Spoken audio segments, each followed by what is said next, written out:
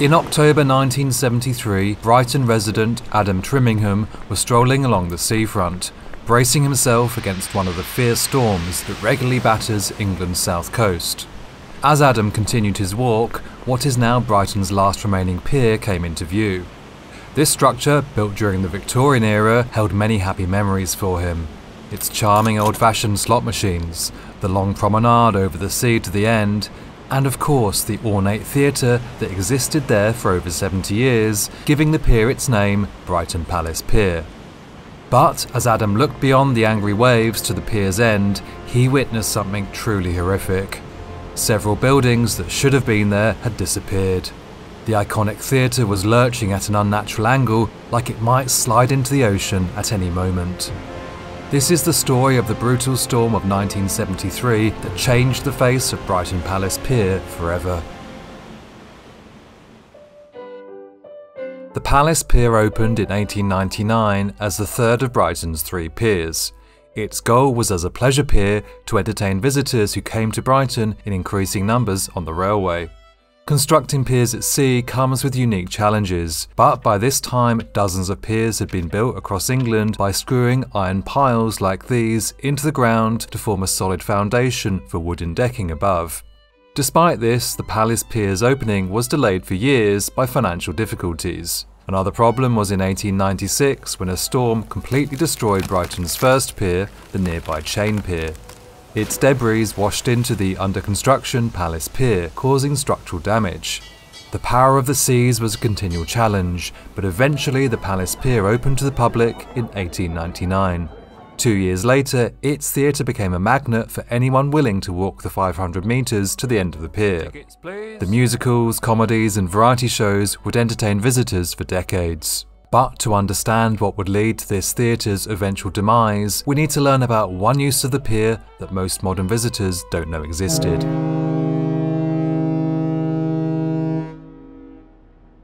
Brighton's coastline is exposed, with no natural shelters to protect it from the rough seas.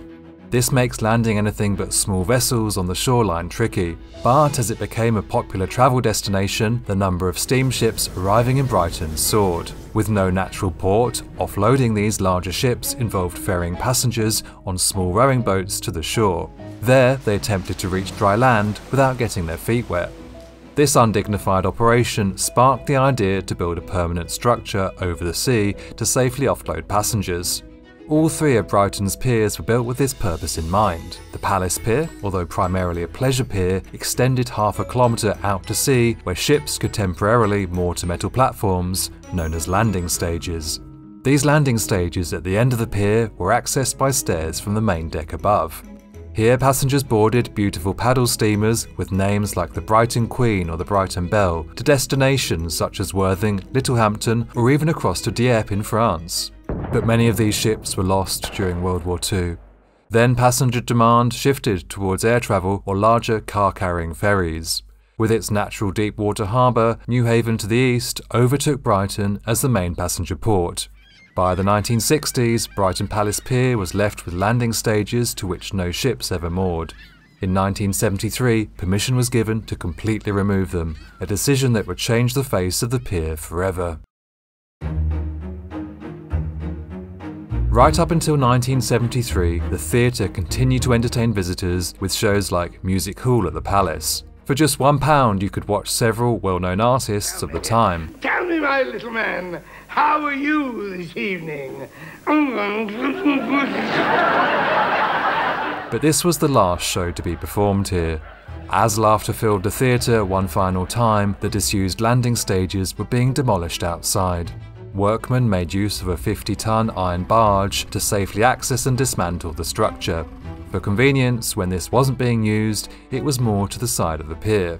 But on Friday the 19th of October, a storm began to blow and the heavy barge broke free of its mooring. The wind and waves washed it towards the main pier structure where it came into contact with the iron piles that support the decking and buildings above. As the danger to the pier became clear, the police contacted the army to request the barge's urgent destruction with explosives, but it was too late. Before they could attend, the barge had done its damage, then capsized and sank. The next morning's papers told the full horrific story. The helter skelter, the crazy maze, and some decking fell first from the 73 year old pier. Then a first aid post, a telephone box, and a bar cellar plunged into the water. Part of the theatre at the end of the pier collapsed into the sea. In total, 25 piles were smashed by the barge. Photos taken at the time show the true extent of the damage to the theatre and surrounding buildings. Estimated cost of repairs £1 million.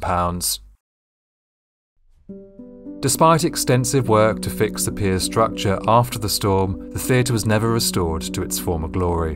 In 1984, the pier was sold to new owners who focused on modernisation. By this time, theatre entertainment was in decline, and two years later, the Palace Pier Theatre was removed to make space for new attractions. Today, the end of the pier has been expanded and features an amusement park above the waves. The ornate original gents' toilets is the only reminder of the theatre era that came before. Despite these significant changes, the Palace Pier remains one of the UK's most popular attractions, with 4 million visitors every year. But without the theatre that once dominated the pier, people come for an entirely different experience. If the theatre still remained today, would you stroll to the end of the pier to catch a show, or do you prefer the thrill of the more modern roller coasters? Let me know down in the comments.